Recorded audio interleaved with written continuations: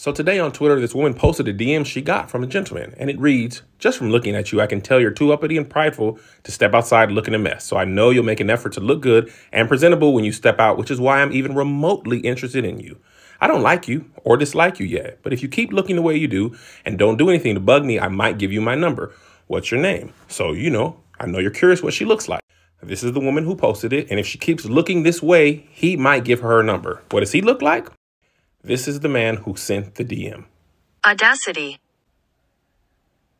Audacity. I honestly gotta say, I admire the confidence to pull up half court with two very long sentences, barely any punctuation, but full confidence that that would work. I mean, it didn't. You know, she she she ended the thread with this, the end, Lamau. But you know what? Songwriter says that's why I love tomorrow. He lives to shoot again tomorrow.